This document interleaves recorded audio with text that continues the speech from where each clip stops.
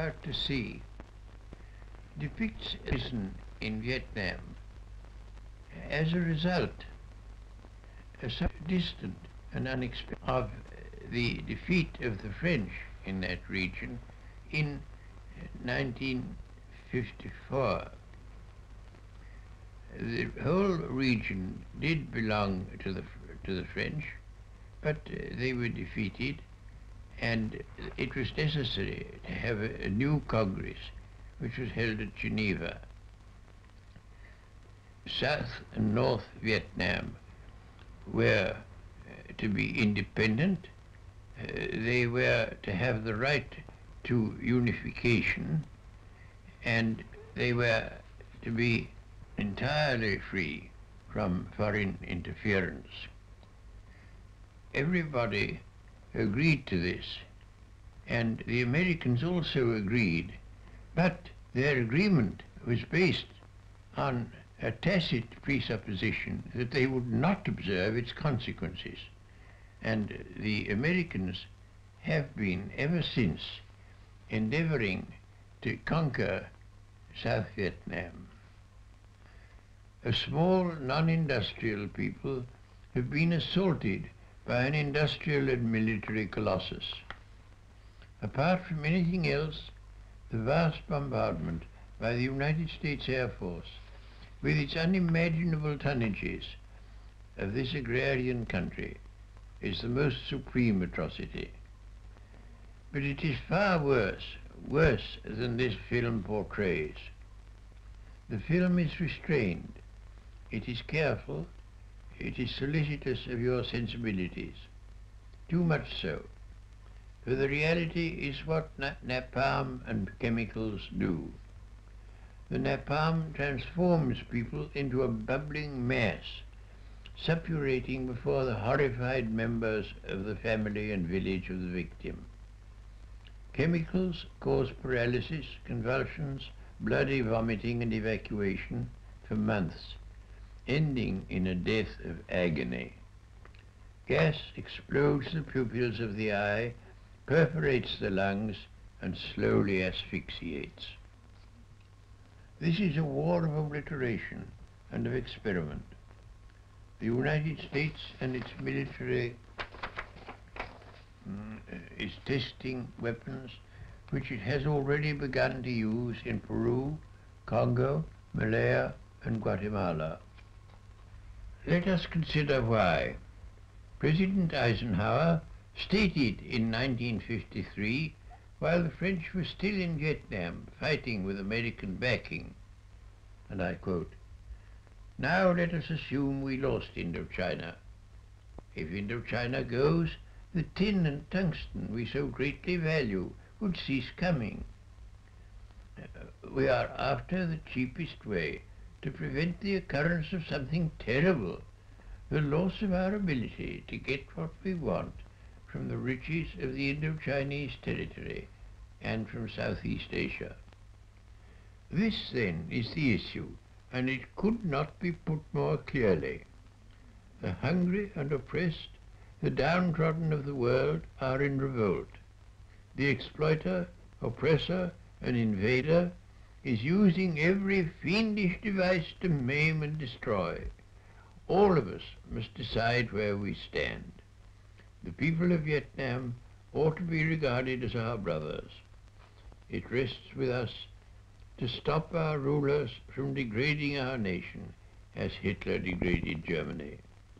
I believe this film is a beginning, no more, towards understanding vividly what is at stake.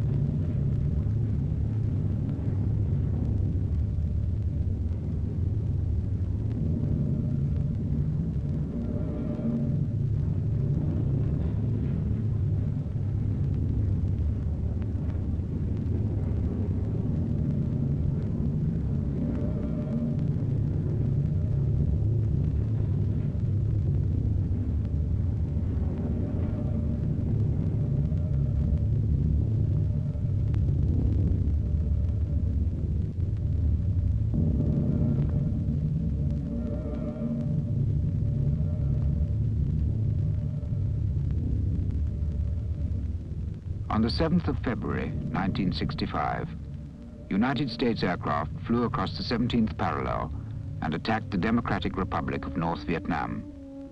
A new phase of the attempts by the United States government to impose its own solution in Vietnam had begun. The fighting in the South was going badly for the Americans. This was their justification for carrying the war into the North. In spite of the massive build-up of their forces, over three quarters of South Vietnam, 10 million people, had been freed from the control of the various puppet regimes supported by the United States.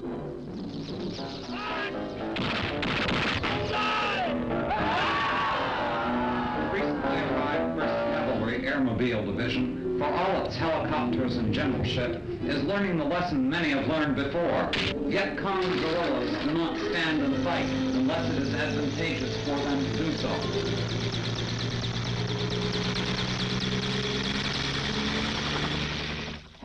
Pilots are briefed for attacks on North Vietnam from aircraft carriers, from Guam, from bases in the south.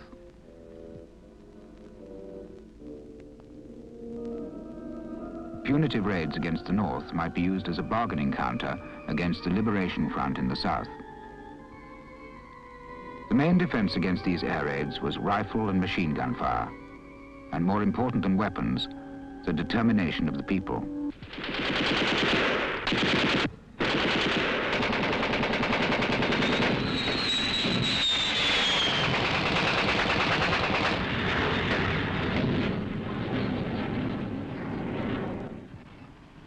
Londoners who remember the Blitz can appreciate the absence of fear in the streets of Hanoi as the people prepare to protect their capital city under the constant threat of American bombing. They've won their first victory, the victory over fear.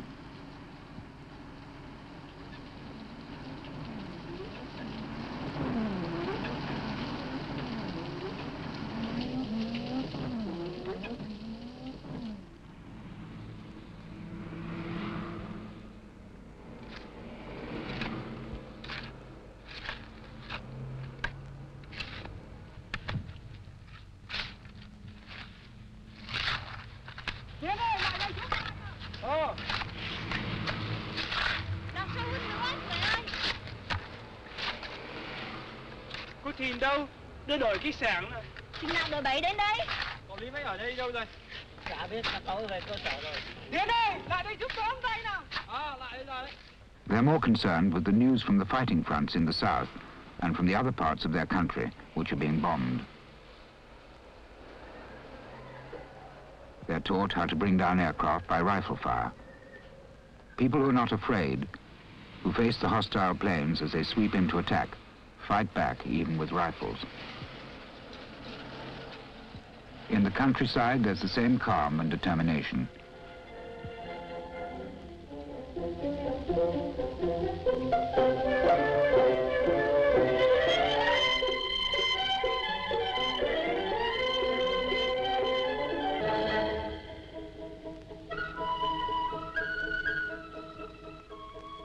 As bridges are bombed, they're replaced by ferries.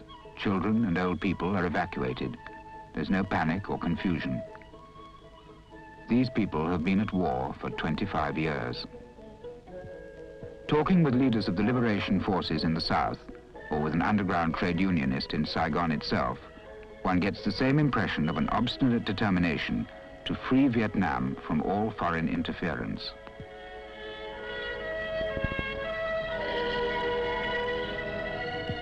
It's this determination which has brought together peasants and workers, students and professional men, representatives of all political parties and all religions in the National Liberation Front. This was formed in 1960 to end the United States intervention and establish an all-party government based on neutrality as a first step to the reunification of Vietnam.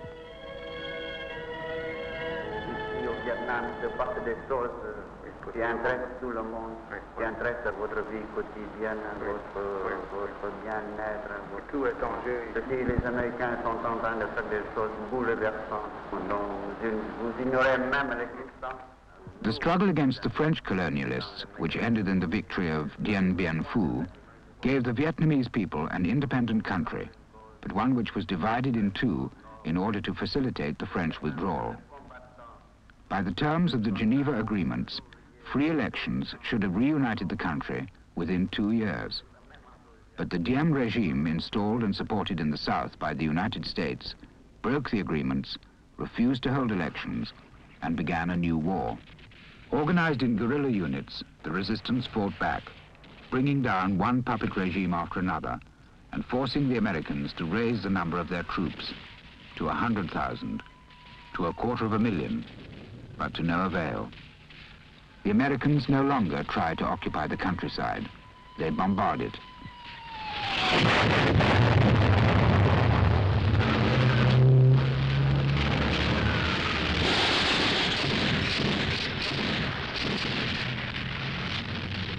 The war is mainly waged at a distance, by plane. The daily average tonnage of bombs dropped on this small country exceeds that of the Second World War. For the Vietnamese people, north and south, the sky is an enemy.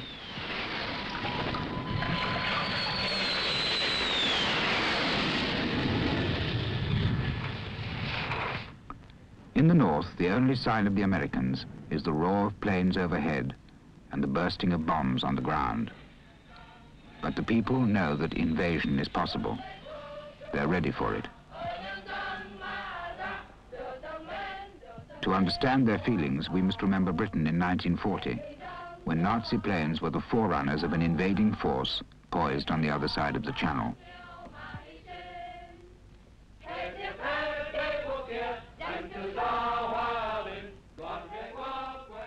Each village has its own defense corps, its home guard against a local attack by parachutists. But if necessary, they can be grouped into an army trained for guerrilla warfare.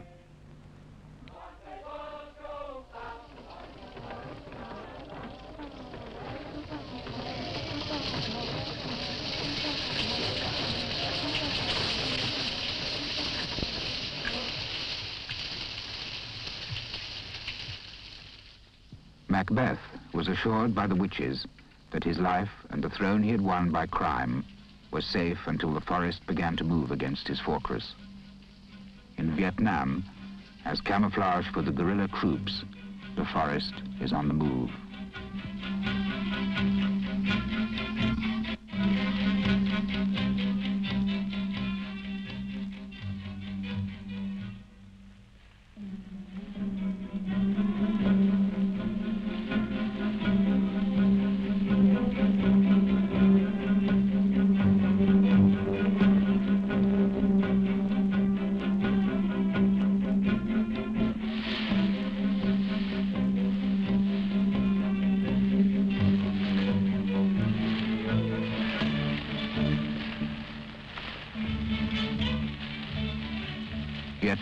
Peasants have become soldiers.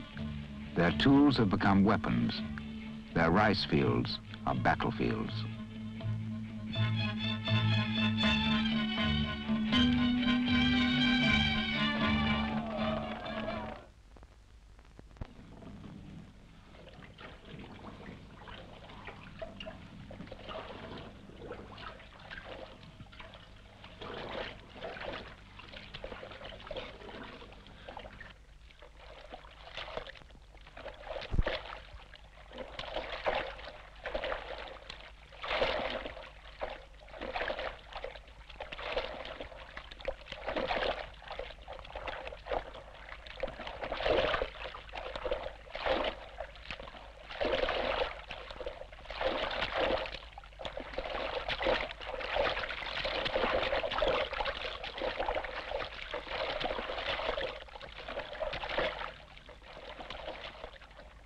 Before division, the southern part of the country supplied most of the food for Vietnam, mainly rice, and the coal mines and mineral wealth were in the north.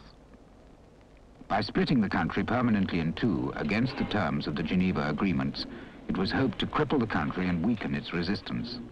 Up to 1954, the Vietnamese had to import even nails and sewing needles from France. After the United States imposed a blockade, the Democratic Republic had to make everything for itself with only a few factory buildings, only a few machines without spare parts, only a few trained technicians, they had to build up their industry almost from nothing. Now there are two fronts in the north, the war and the economy.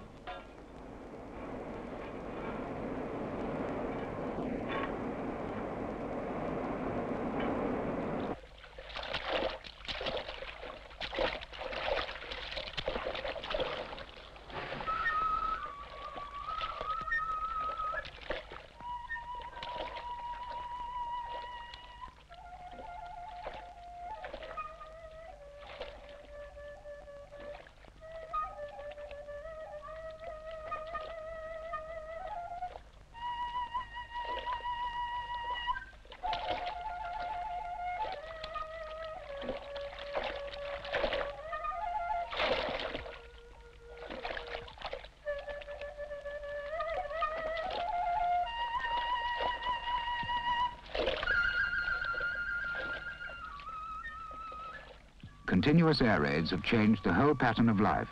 The days are used for the work of defense, the nights for the work of production. At harvest time, the work of getting in the crops and watering the new rice plants never stops, not even for air raid alerts.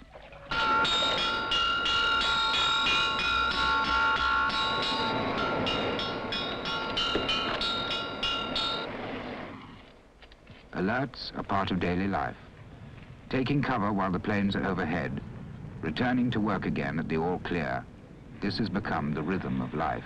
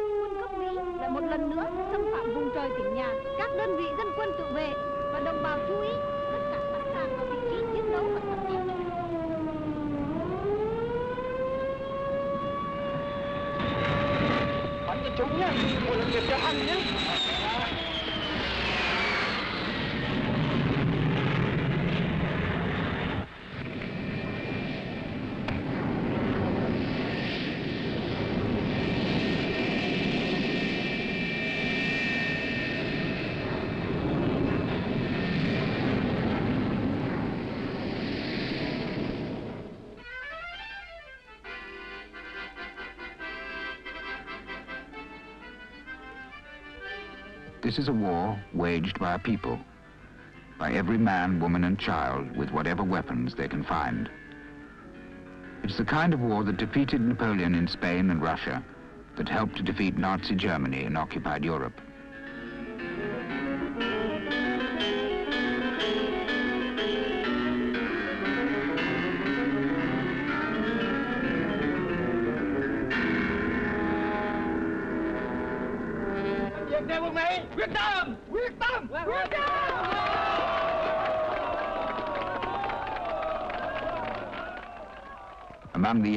Volunteering to fight with the Liberation Front, at least one in ten has lost his father or seen his mother tortured. They were born into war, brought up during war, matured by war. They belong to a generation that has never known peace.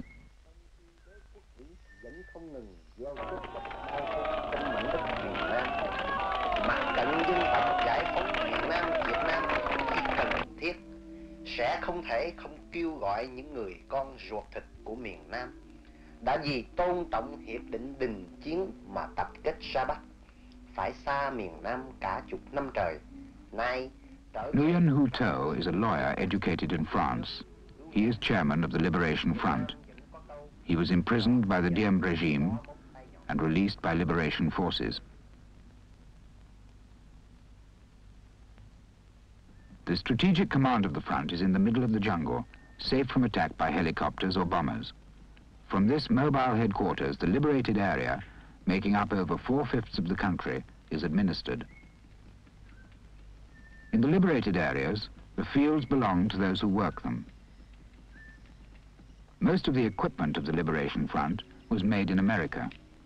United States authorities themselves admit that over 80% of the arms used by the front have been captured from American and puppet troops. Food is one bowl of rice for each soldier a day. They travel light, strike swiftly, and when some massive concentration of American forces has been ponderously moved into position in a particular area, the guerrilla fighters are always somewhere else. Letters from friends and family separated for over 10 years by the illegal division of the country often take six months to arrive. They are reread to comrades, commented upon, and sometimes edited and published. Vietnam is a country famous for love letters. The making of traps is a traditional activity of the Vietnamese. They've always had to defend their villages from the attacks of wild animals. Over 30 different kinds of traps using sharpened stakes have been devised, and the manufacture of bamboo stakes is practically a national industry. Stuck aslant in the ground, they've made vast areas unusable by helicopters.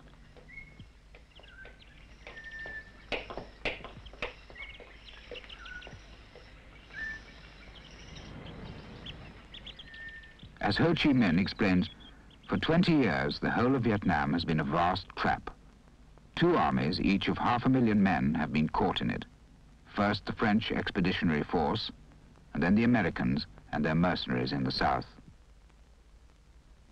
Ho Chi Minh compares the war to a fox hunt. When the two hind paws of the fox are caught by a spring trap, the fox fights like the Americans in the south. He tries to pull himself out. He becomes furious. He strikes at the air with his front paws and catches them in another trap.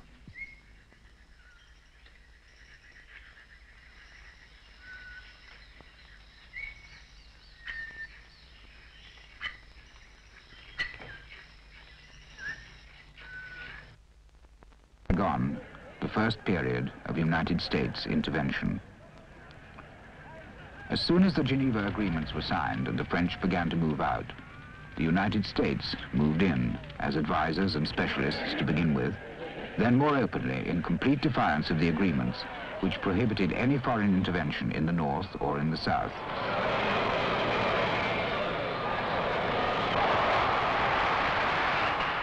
They reorganized the police force and the army. They made and unmade governments. Resistance was crushed, patriots executed.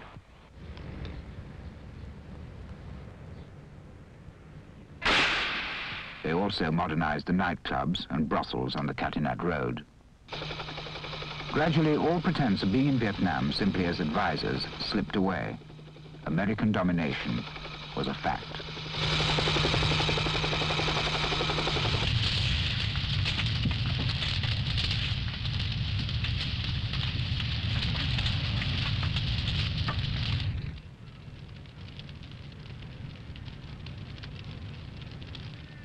Second period of intervention, escalation of the war.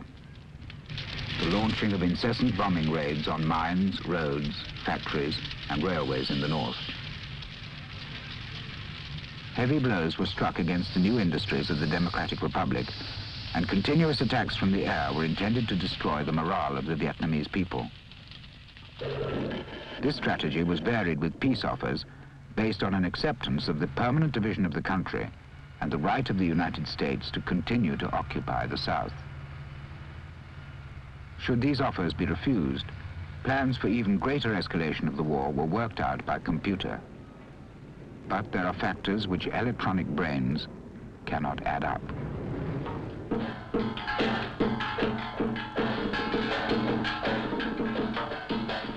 Four thousand years of legend, two thousand years of history, an original civilization called Indo-Chinese because it was neither Hindu nor Chinese. 25 years of resistance to colonial domination. At Geneva in 1954, the sovereign independent state of Vietnam was recognized. One people with the same language and the same culture, the same respect for their own leaders who've guided their struggle for so many years. They cannot be divided by computers. Once a year at Christmas, the sky showers upon North Vietnamese children toys and leaflets, presents from the psychological department of the United States forces. The same sky that for the rest of the year rains down on them napalm and high explosive bombs. Each factory, each settlement, has its numbered sequence in the mathematical progression of bombardments worked out logistically. this escalation of death is based on the psychological premise that if you kill enough people, a country will stop resisting. The same false psychology that Hitler used against the British people. The stake for the United States government is no longer Vietnam, neither its wealth nor its strategic importance. The object now is to prove once and for all that the peoples of Asia, or of Africa, or of Latin America cannot resist a country which has the most powerful arms. Vietnam is the laboratory in which the Pentagon is testing its techniques of anti-insurrectionary war. The Vietnamese people are its guinea pigs. One of the most vaunted of these techniques is the blanket bombing by the giant B-52s and 57s.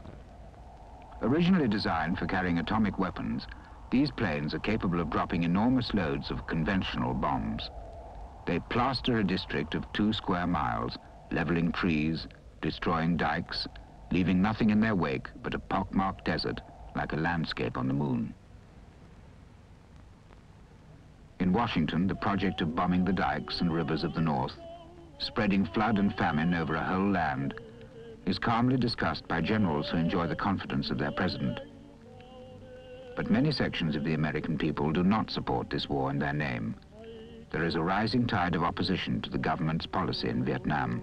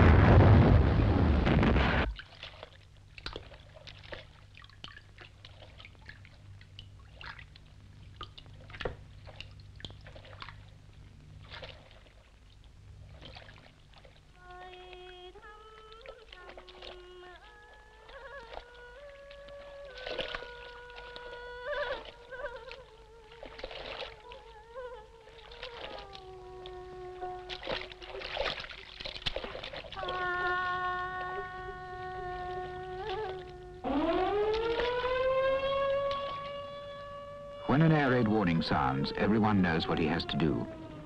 Some take the children and the sick into shelters. Others man the anti-aircraft defenses. Others still continue working in spite of the danger.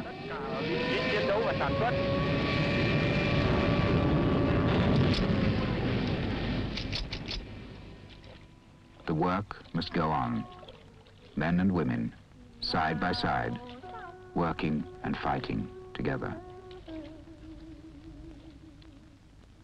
25 years of war have taught the Vietnamese courage and determination and unity.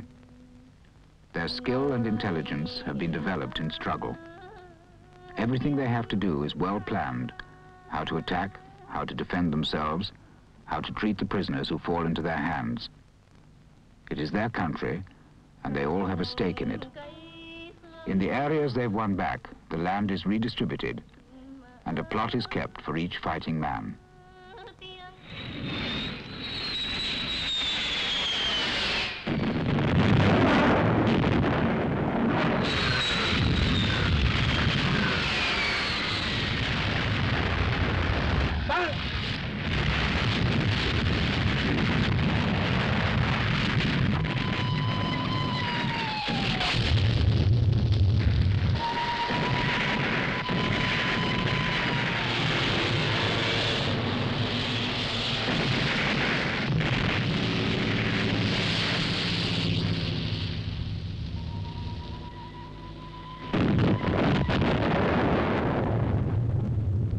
It is a strange war, A war in which the opposing forces inhabit quite different realms. On the ground, working and fighting together, the people of Vietnam. In the air, the enemy. Their planes pass overhead at the speed of sound. But when they have gone, the people say, we are still here, on the ground, in our own country.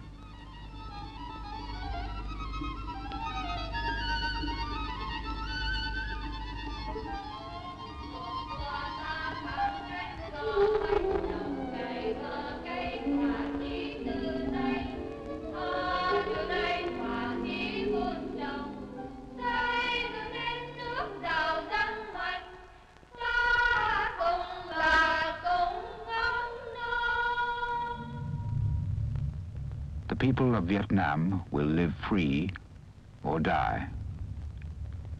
How long will it take us to understand this?